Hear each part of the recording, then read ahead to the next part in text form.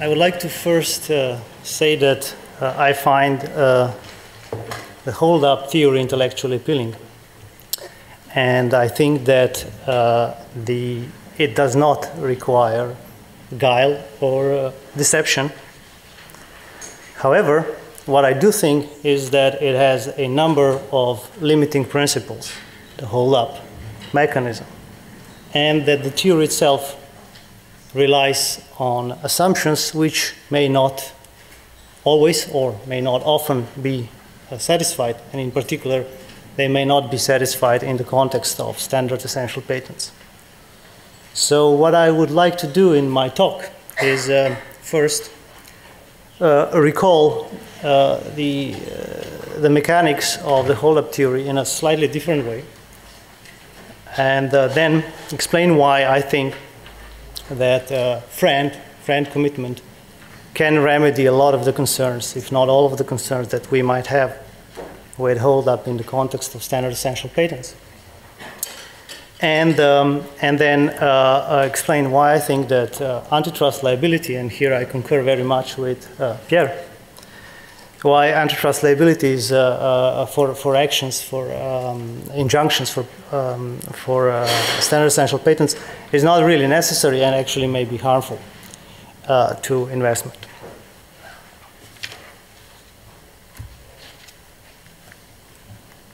So, what are the necessary ingredient, ingredients for a hold-up?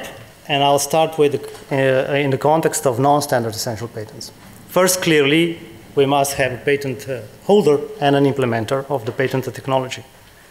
The second necessary ingredient is that it is not practical to negotiate a license prior to, uh, prior to the implementer investing in product design which incorporates the patented technology. Because of that, licensing negotiations will take place after the product design costs are sunk. And we typically call that well, often call that ex post negotiations. Now, the third ingredient for holdup is that the patent owner can obtain an injunction for a patent infringement if license negotiations fail. So basically, the IP uh, lies firmly in the hands of the patent holder, and he can basically exclude almost at will um, uh, uh, the uh, potential implementer if, if he so wants. So, in these circumstances, if these necessary conditions or necessary ingredients for a holdup are present, what might happen? What happens?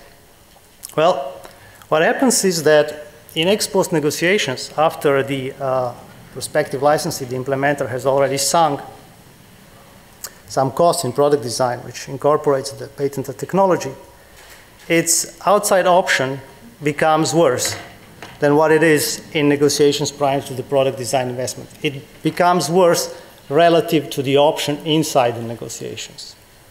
What happens is that the value to the parties of reaching an agreement in ex post licensing negotiations is higher when you compare this value uh, uh, um, uh, if, if the license is negotiated uh, ex ante before the, before the uh, uh, design, before the product design costs were sunk. So there is a, some sort of an externality of a sunk investment, ex ante investment, on the ex post bargaining. And uh, um, the patent owner can extract some of that increment in the value, and that basically confers a negative externality on the uh, uh, implementer. Because of that, uh, the implementer may be less willing to, uh, to uh, invest in product design. The solution, of course, uh, uh, given this mechanism, is deceptively simple. We could either force ex ante negotiations prior to implementer's investment, but we already said earlier that actually a necessary condition for hold up to happen is that such ex ante uh, negotiations are not feasible or not efficient. So that is typically not a good option. It might work in some circumstances. And the second one, as proposed by Professor Shapiro in his famous 2010 papers and other papers is to limit the availability of injunctions, of course. That is, in other words, to apply liability rather than property rule to patent infringements. And that liability is then applied with reference to some fair royalty rate, whatever that might be. Now, I won't discuss uh, this uh, uh, uh issue here, liability versus property rule. Uh, it has its own set of problems, um, but uh, that is what has been proposed, and that what, that's what basically underlies the, the proposal to limit the availability of injunctions also for standard, and in particular for standard essential patents. Now, how about hold-up mechanism for standard essential patents? Well, the mechanism is si similar in, in a way, at least it can be conceptualized in the same way. After the patented technology is included into the standard, there will be no alternative technology available. And again, this inclusion into the standard confers a bargaining externality ex post. So again, the value of reaching an agreement in licensing negotiations uh, for standard uh, essential patents relative to the value of an agreement, of such an agreement prior to the inclusion of the patented technology into the standard is higher. And similarly as before, the patent holder, to the extent it has bargaining power, can appropriate some of this value of increase, and this is the negative externality which leads potentially, or could lead potentially to lower level of investment. Now, for a, for a, for a implementer holdup in uh, the context of standard essential patents, it is of course necessary to assume that FRAND commitment is not enforceable. Uh, to see why this is necessary, uh, consider two options. Uh, first option, um, take the first option to be the unbiased review by a third party of FRAND terms. It is immediately clear that if there is such an option, it's actually trivial to show, that the outside option for the implementer will be the third party determination of royalties and that this will remove or drastically reduce the bargaining externality which I described earlier, which results from inclusion of the patent into the standard. So there cannot be any holdup in these circumstances. In a, in a sense, uh, unbiased third-party review of FRAND terms will have the same effect as if negotiations took place prior to implementer's investment. And therefore, there could be no uh, externality in negotiations ex post. Now, what about the option two, which seems to be uh, uh, uh also a potential realistic option? In this option, the court does not itself set a FRAND rate, but it will rather assess the willingness of the prospective licensor, a licensee, while at the same time it would assess validity and infringement.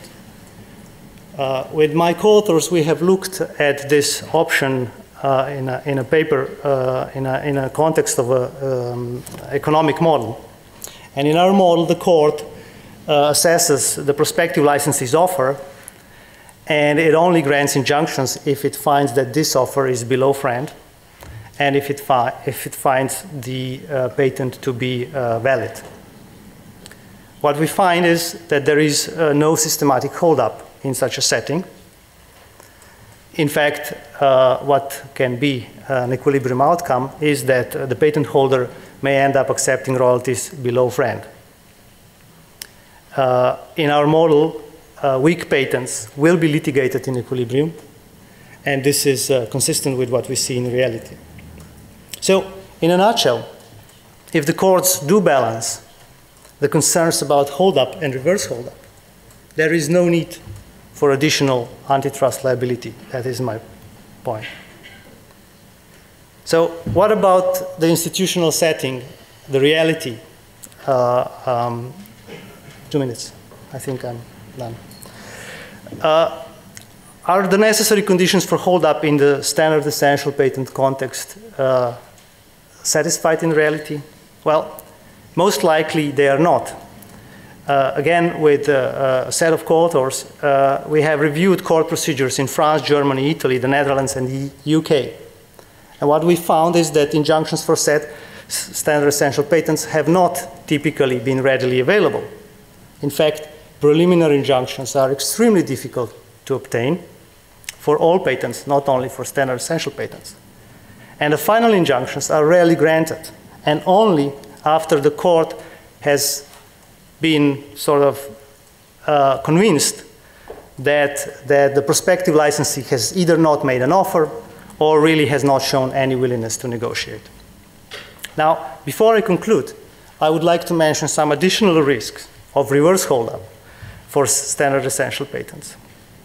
The first one is that the FRAND commitment is, is a one-sided one. And this is something similar to what Pierre was uh, referring to earlier. It gives an option.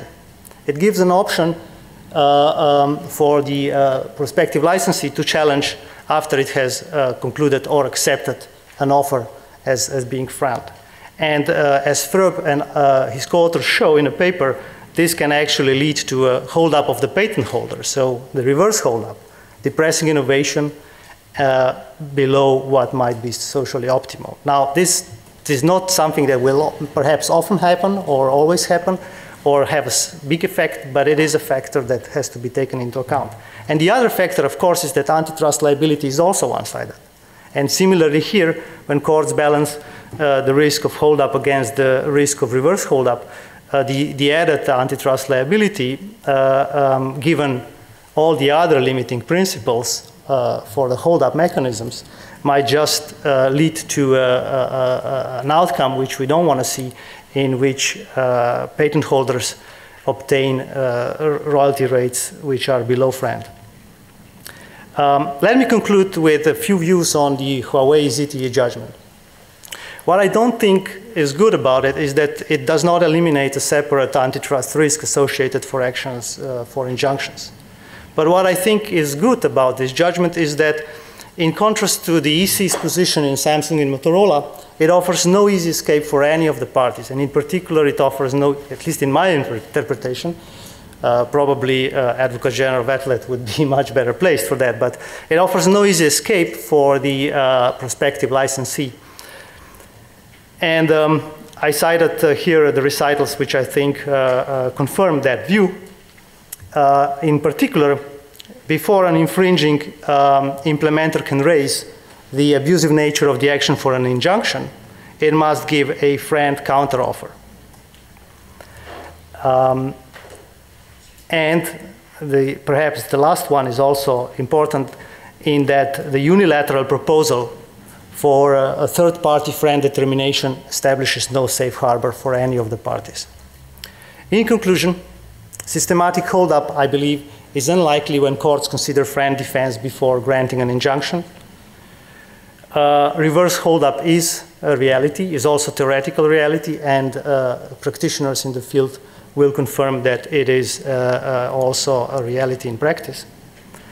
Uh, because of that, because of FRAND defense and because uh, of the potential for reverse holdup, adding antitrust liability to the current institutional setting, I believe, contributes to the risk of reverse holdup, and I think is uh, something that we should not uh, have done or avoid doing.